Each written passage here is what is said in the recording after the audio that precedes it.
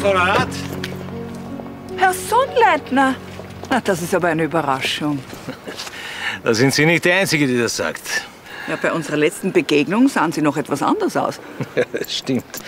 Wie ein gerade entlassener Häfenbruder, ich weiß. Oder wie man auf Neudeutsch sagt, ein frisch gebackener Ex-Knacki. Na, jedenfalls steht Ihnen der Anzug sehr gut. Danke, Frau Rath. Pardon, Frau Volksanwältin. ne? Aber für mich sind Sie einfach immer noch die Frau Rath. Ressentiments? Woher denn, Frau Doktor? Ich habe absolut keinen Grund dazu. Wenn Sie damals nicht in mein Leben eingegriffen hätten, ich würde heute noch Fensterstöcke schnitzen. Das ist jetzt ein Missverständnis, Herr Sonnleitner. Ich habe nicht in Ihr Leben eingegriffen. Ich habe Sie als Richterin verurteilt, weil Sie gegen die Gesetze verstoßen haben. Du jetzt nicht Haare spalten, vorbei ist vorbei. Jedenfalls fühle ich mich jetzt besser als je zuvor und Sie sind daran nicht unbeteiligt. Ich möchte nicht neugierig sein, aber mit dem Verleih von Videokassetten erwirtschaftet man sich nicht so einen Wagen. da können Sie Gift draufnehmen. Nein, ich mache jetzt äh, Geschäfte mit dem Ausland. Ukraine, Weißrussland, Kasachstan. Ja, Sie werden lachen, aber im Häfen trifft man manchmal auch die richtigen Leute. Ja, tut mir leid, ich würde jetzt noch liebend gern mit Ihnen plaudern, aber ich, muss noch ins Rathaus, ist schon spät, und dann nach Wien. Ja, ja, ich will Sie nicht aufhalten, Herr Sonnleitner. Mich hält man nicht so leicht auf.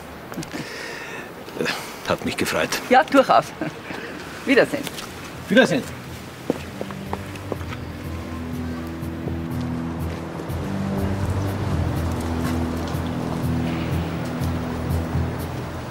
Noch ein paar Geschichten, meine Herren. Und es ist wahrscheinlich wirklich besser, der Minister löst unseren Verein auf und ein paar Kollegen gehen in die Zwangspension. Da. Zwei Beamte der Wirtschaftspolizei verhaftet. Undurchsichtige Kontakte zu russischen Großunternehmen. Die Wirtschaftspolizei im Sold der Paten. Also meine Herren, also wir werden ja langsam zur Lachnummer der Nation. Bitte, aber für die verhafteten Kollegen gilt ja wohl noch immer die Unschuldsvermutung, Herr Ministerialrat. Unschuldsvermutung. Wenn ich das Wort schon höre. Es bleibt immer etwas bicken, wenn man mit Dreck beworfen wird. Ja, so ist das in unserem Land. Und die Leute sagen sich, naja, irgendwas wird schon wahr dran sein. Also schlussendlich, wir brauchen Erfolge. Und zwar schnelle. Ist das klar? Gut. Danke, meine Herren.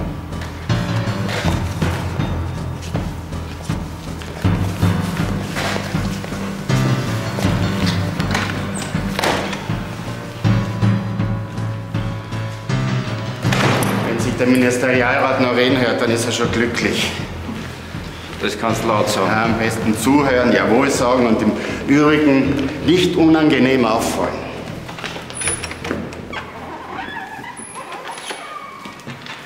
Der Alte hat leicht reden.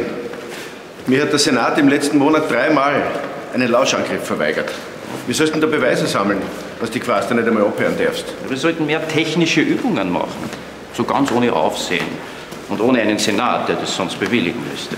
Also, du meinst so nach dem Zufallsprinzip? Naja, wer weiß, vielleicht bleibt was hängen. Keine schlechte Idee. Du, ich habe da auch schon ein paar Adressen. Aha. Lauter Leute, die seit kurzem im Ostgeschäft tätig sind. Von denen ist keiner sauber. Weil sonst kommst du mir höchstens zum Portier und nicht zum Generaldirektor. Schau mal hier zum Beispiel. Ehemaliger äh, Lokalpolitiker, Sägewerksbesitzer, zwei Jahre Haft. Der ist in einer Zelle mit dem Wladimir Ulyanov gesessen. Was, der Schrothändler? Ja, der den einzigen Fehler begangen hat, in Wien einen Richter bestechen zu wollen. Leider hat er den Falschen erwischt. Jetzt nach der Haftentlassung sitzt er in seiner Villa in Moskau und macht Geschäfte mit dem Herrn äh, Sonnleitner. Na schön. Dann schauen wir uns den doch ein bisschen genauer an, den Herrn Sondleitner. Ja, bitte? Darf man eintreten? Aber sicher, Herr Sonnleitner. Guten Tag. Ich freue mich, Sie zu sehen, denn Sie schulden der Stadt noch Geld. So ist es. Immer Designs beisammenhalten. So macht man das als Bürgermeisterin. Ja, das ist Teil meines Jobs. Sie haben seit Monaten für Ihr Lokal keine Miete gezahlt und auf meinen Kündigungsbrief haben Sie auch nicht reagiert. Deswegen bin ich jetzt da. Ich zahle meine Schulden mit Zins und Zinseszinsen. Wie viel macht das? Also das habe ich jetzt nicht im Kopf, da muss ich nachschauen. Bitte tun Sie das. Scheck oder Karte?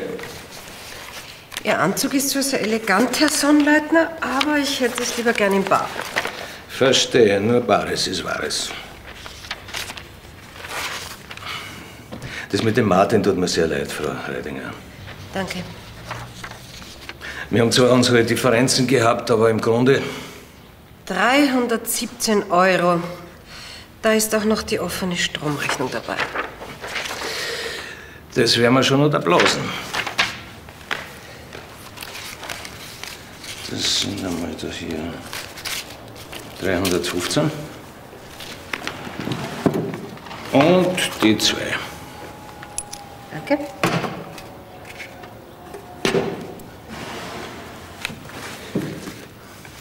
Wollen Sie noch zu?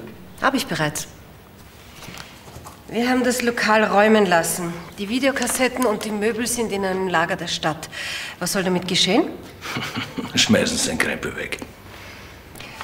Gut, da ist dann noch eine Entsorgungsgebühr fällig. Wie viel? Bin ich Hellseherin? Kenne ich die Preise der Mülldeponie auswendig? Eine gute Bürgermeisterin sollte das auswendig kennen. Und eine gute Bürgermeisterin hätte nach der Kündigung ihr Zeug auch weggeschmissen und nicht aufgehoben. Nichts für ungut, Frau Reidinger. Ich komme wieder vorbei und zahle die Entsorgung.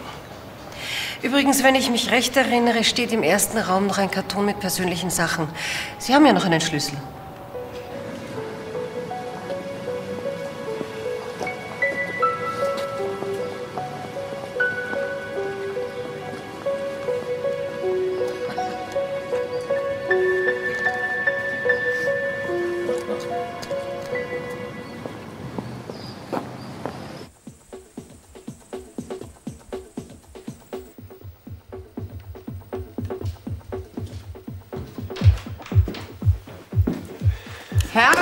Abend werden.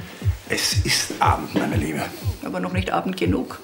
Elisabeth könnte wirklich warten, bis wir aus dem Haus sind. Habe ich auch vorgeschlagen, aber sie meint, jede Minute zählt. So, und jetzt vor. Ja, sie möchte unbedingt in die Endrunde kommen. Ja, die springt um wie eine Hupftohle und gibt Töne von sich wie eine hungrige Gatt. Nochmal, komm, Sie entwickelt einen unglaublichen Ehrgeiz und darüber sollten wir uns nicht lustig machen. Ja, sicher. Man kann es sich ja schließlich nicht aussuchen, worauf der Ehrgeiz der geschätzten Enkelkinder abzielt, nicht? Mir wäre auch lieber, der ginge mehr in Richtung Mathe oder Englisch. Aber dafür macht sie Bewegung. Und sitzt nicht ununterbrochen mit einer Tüte Chips vorm Fernseher rum. Elegant siehst du aus. Danke. Vier, drei, zwei und los! Prima, Elisabeth! Ganz super!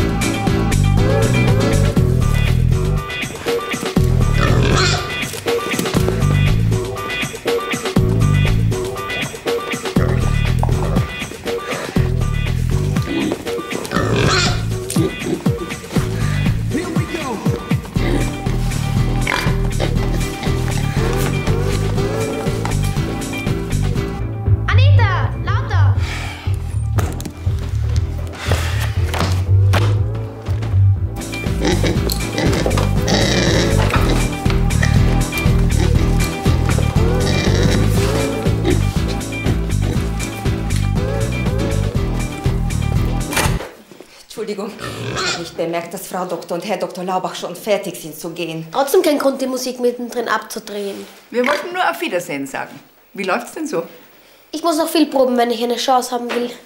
Elisabeth hat sehr große Talent. Bestimmt, sie macht das erste Preis im Wettbewerb. Dann gebe ich die Schule auf und werde ein Star. Darüber unterhalten wir uns dann, wenn du gewonnen hast, ja? Schau mal. Marilyn möchte auch mitsingen. Das wäre doch mal was Originelles. Warst du schon mal mit einem Schwein vor Gericht? Nein. Das siehst du. Also dann schönen Abend noch und geh nicht zu spät ins Bett, Elisabeth, ja? Wir proben noch eine halbe Stunde, dann mache ich das Abendessen. Gute Unterhaltung darf ich wünschen. Danke, Anita.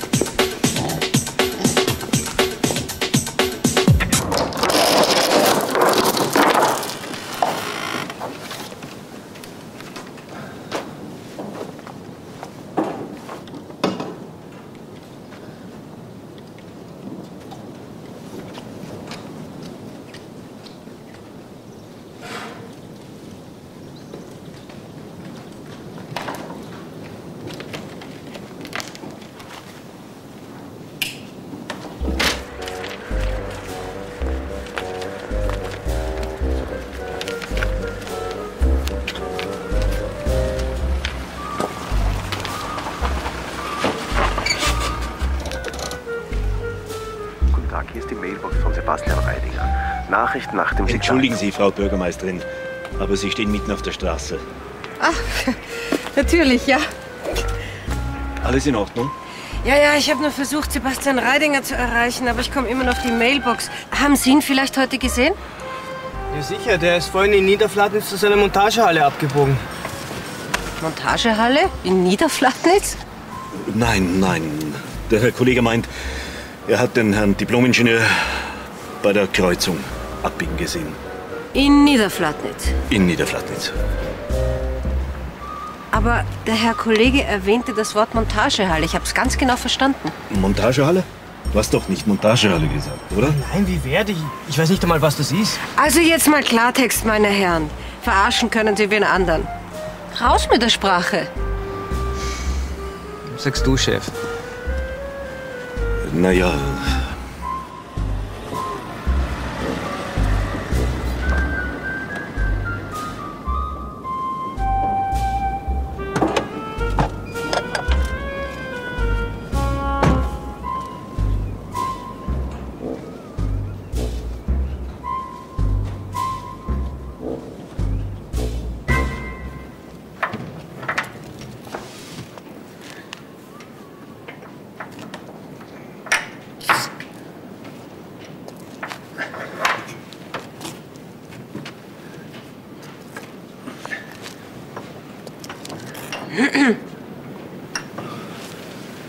Lena, was machst du denn hier? Ich habe dich gesucht. Ja, aber woher weißt du, wo ich bin? Ein Vögelchen hat's mir gezwitschert. Besser gesagt zwei. Tja. Naja, jetzt weißt du's. Arthur und ich haben uns ein kleines Spielzeug geleistet. Und? Fliegt dieses Spielzeug auch wirklich? Tja, aber natürlich, was denkst du denn? Nur noch ein Checklauf für den Motor und dann geht's ab. Ja, Vorsicht, Vorsicht. Beeindruckend. Warum diese Heimlichtuerei? Ja, wir wollten nicht, dass es jemand erfährt, bevor die Maschine fertig ist. Und Arthur meint, vor allem Julia sollte vorerst nichts erfahren. Keine Sorge, ich petze nicht. Ich habe dich ja auch nicht wegen deines Spielzeugs gesucht. So? Weswegen denn? Dieser Brief kam heute irrtümlich zu mir ins Rathaus und nicht in die Firma. Ich habe ihn geöffnet und gelesen. Herr Weltner aus Perlach erteilt uns den Auftrag zur Errichtung von 20 Fertigteilhäusern laut unserem Katalog sowie zum Bau der Halle für das Schwimmbad. Das ist doch wunderbar! Wir bauen eine Mustersiedlung mit unseren Fertigteilhäusern. Noch dazu in einer Tourismusregion. Die PR dafür ist unbezahlbar. Das ist ein neues Kapitel in der Geschichte der Baufirma Reidinger. Ja, das ist ja wunderbar. Gratuliere. Wir werden eine Menge Kohle machen. Hast du ihn geschmiert? Mit keinem Cent, das musst du mir glauben. Ich habe die 20 Häuser so knapp kalkuliert, dass er eine gute Spanne hat. Okay, ich glaub dir. Das hast du prima gemacht.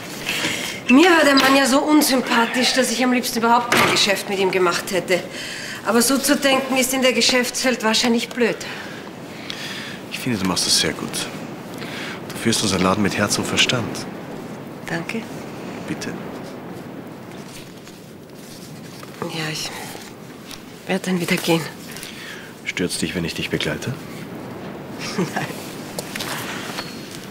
Wie lange wirst du noch schwarz tragen?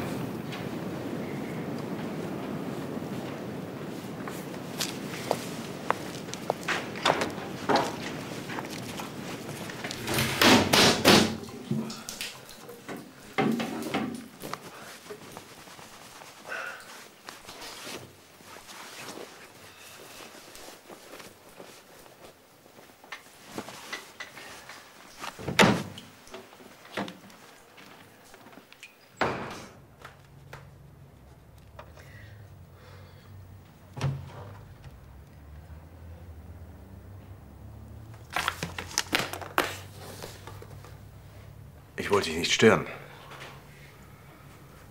Du hast mich nicht gestört.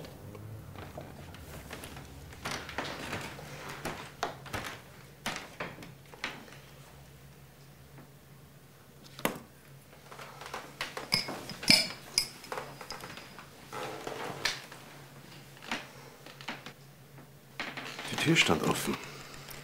Und ich wollte dich fragen. Was?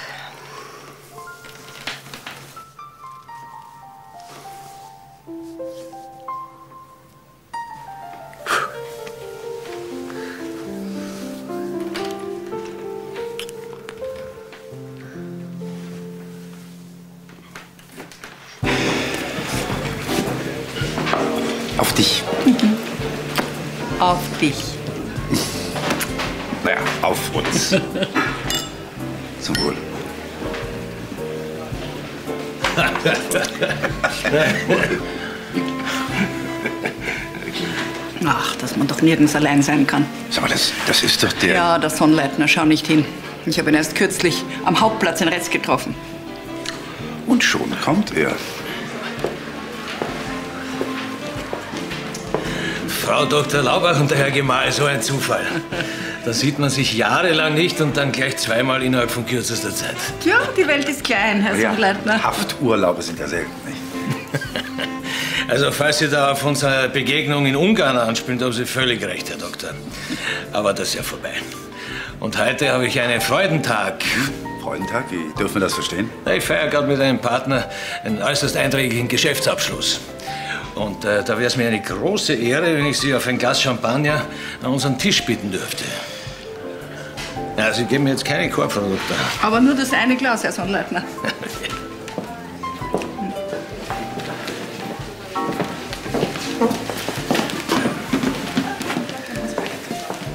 Frau Doktor, darf ich Ihnen Herrn Wladimir Uljanov vorstellen? Wladimir, das ist Frau Dr. Laubach, Volksanwältin und hochrangiges Regierungsmitglied. Und das ist Ihr Gatte, Rechtsanwalt Dr. Laubach. Es ist mir eine große Ehre, gnädige Frau. Ich bitte. Aber der Herr Sonnleitner hat mich falsch apostrophiert. Ich bin zwar Volksanwältin der Republik Österreich, aber kein Mitglied der Regierung. Ich bitte um Nachsicht, wenn ich diese Unterscheidung im Augenblick nicht nachvollziehen kann. Das ist kein Problem, ich erkläre es Ihnen gerne. Guten Abend. Pardon, meine beiden Assistentinnen Olga und Natascha. Champagner, meine verehrten Gäste. Na bitte. Dankeschön.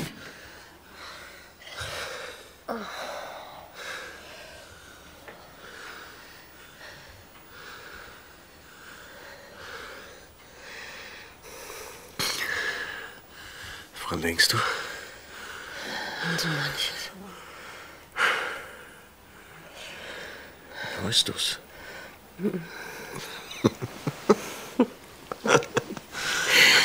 Wir müssen ja nicht drüber reden. Hm? Wie du meinst.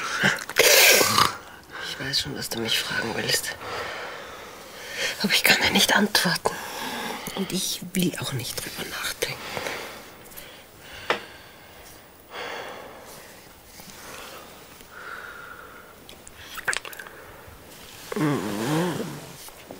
Die geschäftlichen Chancen in unserem Lande sind in der Tat außerordentlich günstig. Man kann hier gutes Geld verdienen, aber man braucht im Auslande Freunde und Helfer, um konkret zu werden. Wenn Frau Volksanwalt zum Zwecke der Anbahnung von Geschäften Kontakte zu gewissen Regierungskreisen herstellen könnten, dann würde ich mich sehr erkenntlich zeigen. Natürlich in Dollars und auf einem Bankkonto im Lande Ihrer Wahl.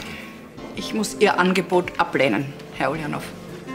Als Volksanwältin ist es mir nicht erlaubt, neben meinem Amt irgendwelchen geschäftlichen oder politischen Tätigkeiten nachzugehen. Das ist zumindest mein Amtsverständnis und ich gedenke daran festzuhalten. Wenn ich Sie mit meinem Angebot beleidigt haben sollte, dann bitte ich um Entschuldigung. Oh, Sie haben mich nicht beleidigt, Herr Uljanov. Ich gehe davon aus, dass Sie die genaueren Umstände in unserem Land nicht kennen. Nun, ich hatte Gelegenheit, einige Zeit in Ihrem Lande als Gast zu sein. Und der Eindruck, den ich gewinnen konnte, war der, dass hier jedermann sehr gerne einen schnellen Euro verdient. ja, wie zum Beispiel unser Freund Steuersball. Ja, wer immer der Herr Steuersball auch ist. Äh, mag sein, dass die Mehrheit in unserem Lande gerne einen schnellen Euro verdient, aber am liebsten immer noch legal. Und jetzt danke ich Ihnen für die Einladung. Entschuldigen Sie bitte. Ja, noch einen angenehmen Abend. Schade, dass Sie schon gehen. Es war mir ein ausgesprochenes Vergnügen. Keine Namen. Niemals Namen aussprechen. Das ist mir so ausgerutscht.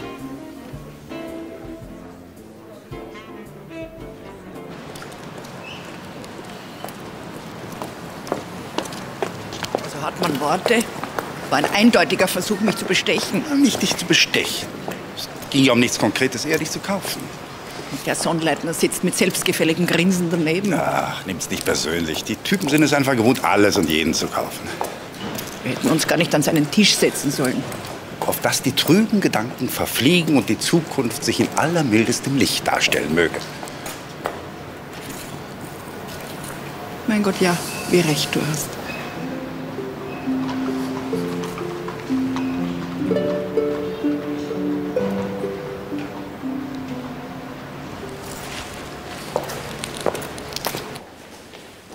Immerhin ist es ein Kollege. Wurscht, Hauptsache wir stehen gut da. Glaubst du, der Steuersball wird sich umgekehrt was antun? Ich weiß nicht, ich hab da kein gutes Gefühl dabei. Der Chef hat gesagt, er wird die Sache diskret handhaben. Der Steuersball wird nie erfahren, wer ihn anzünden hat. Ist das auch sicher? Geh bitte, was ist in unserem Geschäft schon sicher?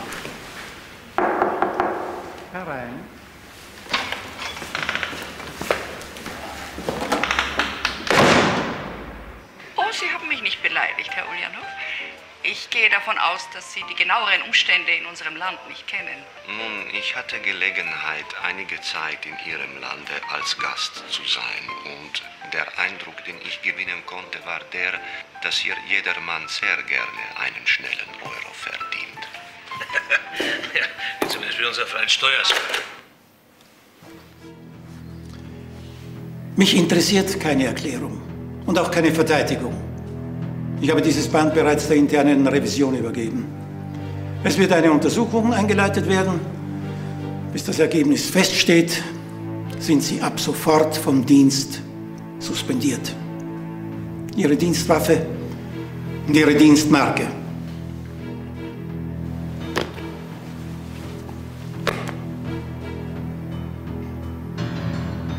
Ja, das war's.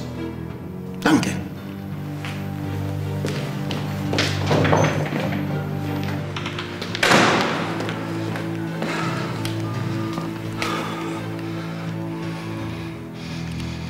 Sonnleitner, da spricht Steuersball. Sag, haben's dir komplett ins Hirn geschissen? Guten Tag, Frau Doktor. Also eins muss ich schon sagen, das hätte ich Ihnen beim besten Willen nicht zugetraut. Guten Tag, Herr Sonnleitner. Darf ich fragen, wovon Sie sprechen? Sie haben ein privates Gespräch, was sozusagen wirklich ganz privat war, weitererzählt. Jetzt machen Sie mal einen Punkt, Herr Sonnleitner. Erstens erzähle ich keinen Inhalt von Privatgesprächen an Dritte. Und zweitens habe ich keine Ahnung, wovon Sie reden. Und wieso ist dann der Steuersball vom Dienst suspendiert? Der Steuersball? Na, der Beamte von der Wirtschaftspolizei, den ich unlängst erwähnt habe, wie wir uns in der Bar getroffen haben. Ich erinnere mich dunkel, dass Sie irgendeinen Namen erwähnt haben. Das war so halb scherzhaft. Der Steuersball ist ein alter Bekannter, mit dem man manchmal naja, zusammenarbeitet. Ich möchte Ihnen nichts unterstellen, Herr Sondleitner, aber wenn Sie das Wort Zusammenarbeiten erwähnen, so hat das für mich immer einen sehr eigenartigen Klang. Und das kränkt mich jetzt. Mir kommen die Tränen. Sie haben also den Steuersball nicht gemeldet. Ich melde niemanden, Herr Sonnleitner. Wenn ich Kenntnis von einem strafbaren Tatbestand erhalte, so bringe ich das zur Anzeige. Wie das jeder anständige Bürger in diesem Land tut oder tun sollte. Aber das war hier nicht der Fall. So, und jetzt entschuldigen Sie mich bitte, ich habe zu arbeiten. Und Sie entschuldigen den Überfall, Frau Doktor. Keine Ursache.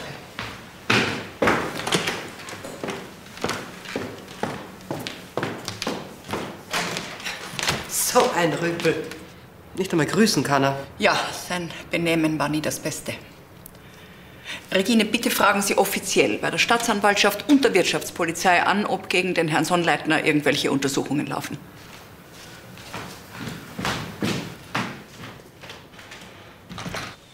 Keine Ermittlungen und keine Untersuchungen. Und, und das war eine offizielle Anfrage. Ja, sicher. Ich meine, ich gehe davon aus, dass die Staatsanwaltschaft und die Polizei die Volksanwaltschaft nicht anlügen.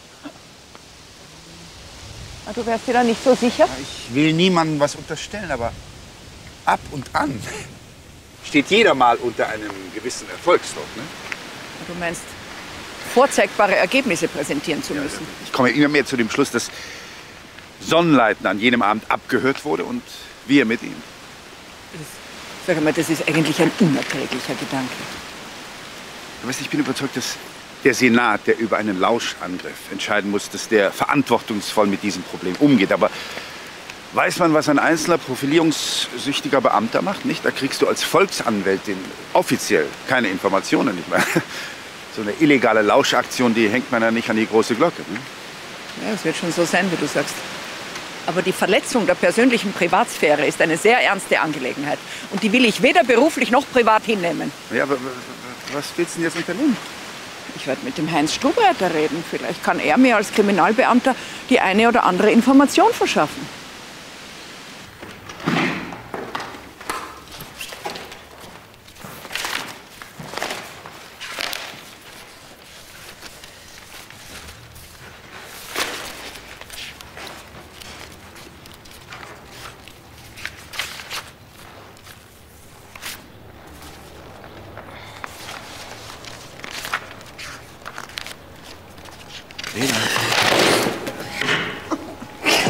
Fix du.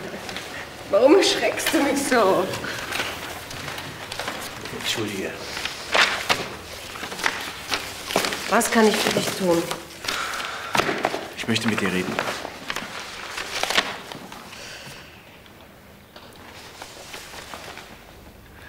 Ich habe das Gefühl, wir gehen uns aus dem Weg. Warum tun wir das? Keine Ahnung.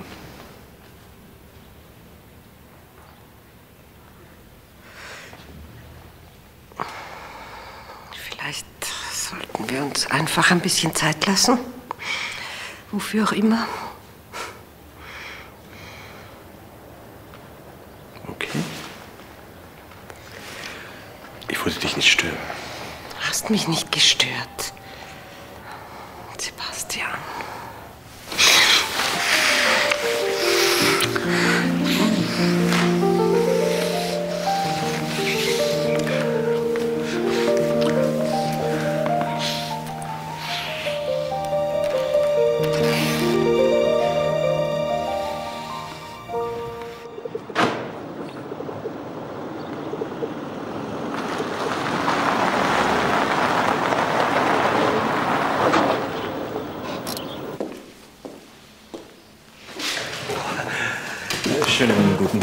Volksanwältin. Was können wir für Sie tun? Äh, guten Tag, meine Herren. Bitte behalten Sie Platz. Ich möchte zum Kollegen Stubreiter. Bitte, der ist in Kobel. Kobel? Ähm, wollte sagen, in der Kriminalabteilung. Ah, da finde ich ja den Weg. Ja, danke. Darf ich irgendwas anbieten? Kaffee vielleicht? Eine Tasse Kaffee wäre sehr nett. Ja, danke.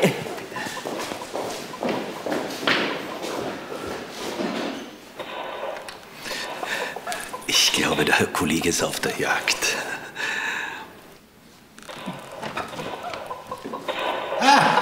Grüß dich, Julia. Ah, Schau mal. Toll. Wir haben jetzt die neuen Computer gekriegt. Sehr beeindruckend. Und genau deswegen wollte ich zu dir. Mhm.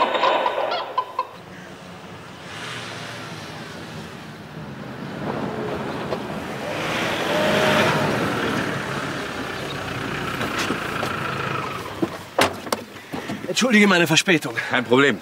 Vorfreude ist die schönste Freude. Grüß dich. So, ist sie das wirklich? Alles in Ordnung? Ja. Warum fragst du? Oh, nur so. Also, heute ist der Tag. Auf den wir lange gewartet haben.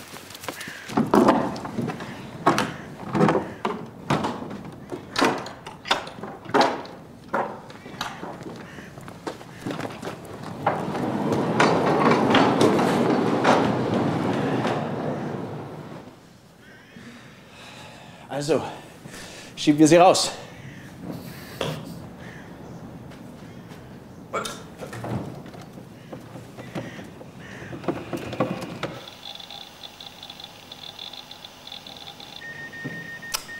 Nichts, absolut nichts, Julia. Wie gesagt, ich bin ein kleiner Kriminalbeamter. Ich komme da nur bis zum bestimmten Punkt rein. Ab dann musst du schon ein leitender Beamter sein. Aber du hältst es prinzipiell für möglich, dass jemand abgehört wird, ohne dass da ein Vermerk, eine Datei oder sonst irgendwas auftaucht. Möglich ist alles, das wissen wir ja beide. Ja, zum Beispiel, da macht einer eine technische Übung. Ja, weil er ein neues Gerät ausprobiert oder gerade darauf eingeschult wird. Wenn dann zufällig jemand daneben steht, auf den das Mikro gerichtet ist oder dessen Handy offen ist, Technische Übung. Und zufällig. man könnte auch sagen, zufällige technische Übung.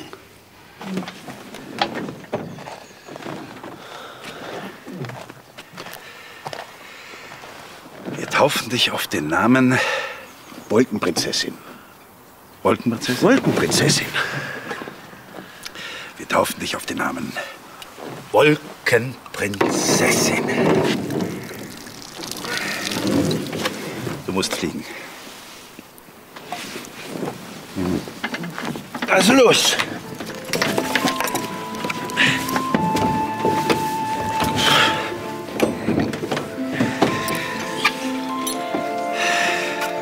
Anschneiden.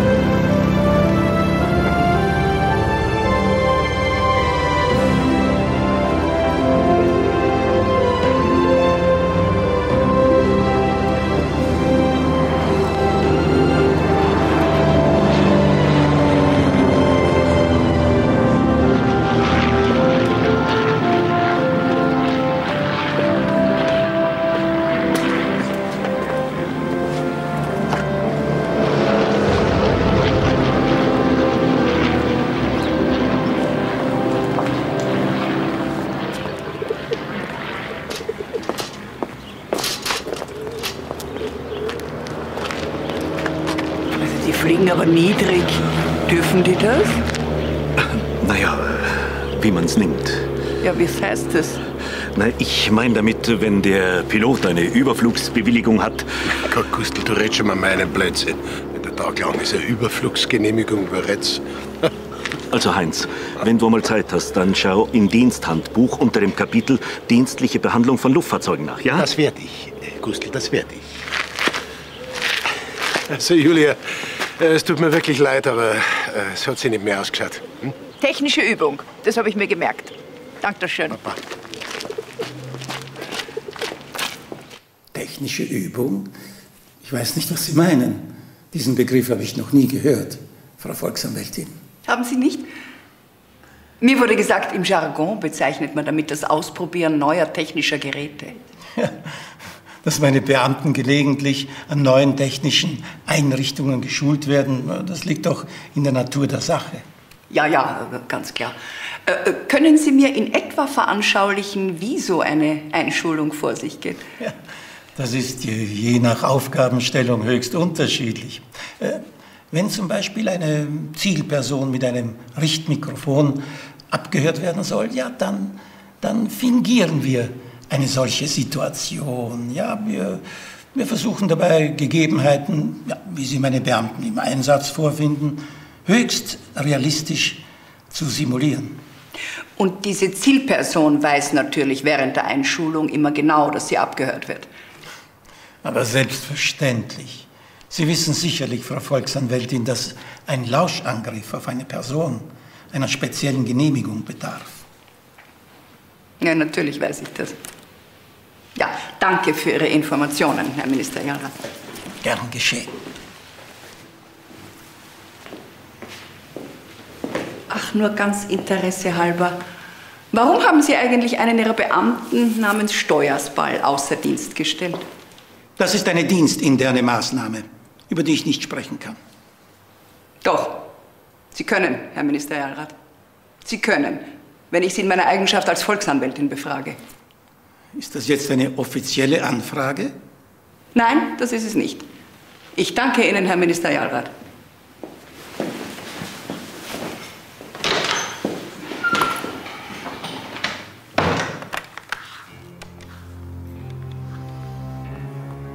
Den Akt Steuerspal. Aber prompt, wenn ich bitten darf.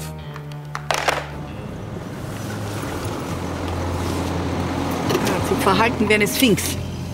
Und alles läuft natürlich so, wie das Gesetz es vorschreibt. Ich habe nebenbei erwähnt, dass ich über die Suspendierung des Beamten Steuersball im Bilde bin. Und ihn einigermaßen verunsichert. Und was willst du weiter tun? Hä? Ja, was du zu tun direkt? Ich bin gerade auf dem Weg zum Herrn Sonnleitner. Und ich hoffe, dass er einsieht, dass für ihn das Beste ist, wenn er mit der Wahrheit herausrückt. Auch wenn sie ihn belastet. Das ist seine Sache. Was machst du übrigens gerade? Auch nichts Besonderes, den Rasenmäher warten. Ich hätte nie gedacht, dass du es eines Tages ohne Arbeit aushalten könntest. Nur eine Frage der Gewohnheit, du. Ja, wie auch immer, wir sehen uns abends. Du hast nicht vergessen, dass Elisabeth heute ihr Nachwuchscasting hat? Natürlich nicht. Ich werde pünktlich mit ihr im Studio sein. Ja, bis dann.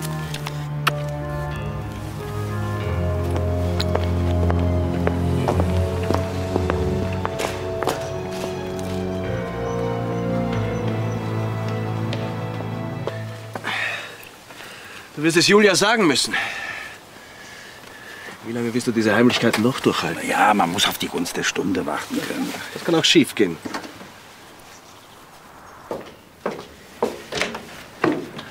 Oh, welch Glanz in meiner bescheidenen Hütte, die Frau Volksanwältin.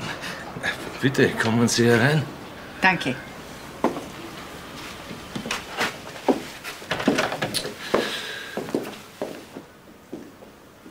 Bescheiden ist etwas untertrieben, Herr Sonnleitner. Sie haben da eine sehr schöne Wohnung. Danke. Ähm, was ist der Grund für Ihren unerwarteten Besuch? Ich möchte mit Ihnen sprechen, Herr Sonnleitner. Und zwar ganz privat, nicht offiziell. Worüber? Über einen möglichen Grund, warum Sie abgehört werden könnten. Ja, also gut. Hm, super. Ich werde noch einige machen für mitnehmen. Vielleicht brauchst du für den Auftritt eine kleine Stärkung. Kannst du dir sparen, Anita? Ich werde sicher so entsetzte Lampenfieber haben, dass ich keinen Bissen runterkriege. Das ist ganz normal bei einer Künstlerin. Trotzdem, ein bisschen Proviant werde ich schon mitnehmen. Du kommst aber schon mit wir wärmen gemeinsam auf. Natürlich, Ederschem. Ist doch ausgemacht. Ich würde am liebsten gar nicht hingehen. Wir haben doch wochenlang geprobt und du bist perfekt, Elisabeth. Kopf hoch. Wir werden das schon gemeinsam durchziehen. Das sind allesamt keine großen Geschichten, Frau Doktor. Schauen Sie zum Beispiel, man, man kauft für einen Freund in Kasachstan irgendeine Villa da hier in Wien. Dann nimmt man eine Hypothek auf die Villa auf, nicht, eine saftige. Weil Die Banken, die, die geben einem ja heutzutage bis zum Dreifachen von dem, was eine Villa wert ist. Nicht? Also die möchten ja auch ihre Geschäfte machen. Ja, und was passiert mit der Hypothekarsumme? Die investiert man dann wieder für diesen kasachischen äh, Freund in irgendwelche Geschäfte. Man kauft Aktien, äh, Rentenfonds, wie es der Freund eben haben will. Und eines Tages kommt der Freund, zahlt den Hypothekarkredit zurück. Die Bank fragt nicht, woher das Geld kommt. Und alle sind glücklich und zufrieden. So ungefähr. Sowas könnte man auch Geldwäscherei nennen, Herr Sonnleitner. Äh, Frau Doktor, das läuft alles ganz legal. Hm? Also, äh, ich tue einem Freund einen Gefallen und wie der seinen Kredit zurückzahlt, das äh, geht mich nichts an. Nicht? Bin ich das Finanzamt? Und welche Rolle spielt dabei ein Beamter der Wirtschaftspolizei? So wie der Herr Steuersball?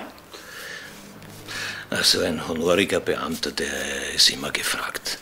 Und als unentgeltlicher Konsulent. Unentgeltlich. Selbstverständlich. Entschuldigen Sie mich. Was machst du denn da? Ich wollte es dir nicht am Telefon sagen, aber ich bin wieder im Geschäft. Ich weiß zwar nicht, was da rennt, aber die Untersuchung gegen mich ist eingestellt worden. Das ist äh, fein. Wollen Sie uns nicht miteinander bekannt machen, Herr Sonnleitner? Selbstverständlich. Frau Doktor, das ist der Herr Steuersball von der Wirtschaftspolizei. Und das ist die Frau Dr. Laubach, Volksanwältin. Guten Tag. Guten Tag.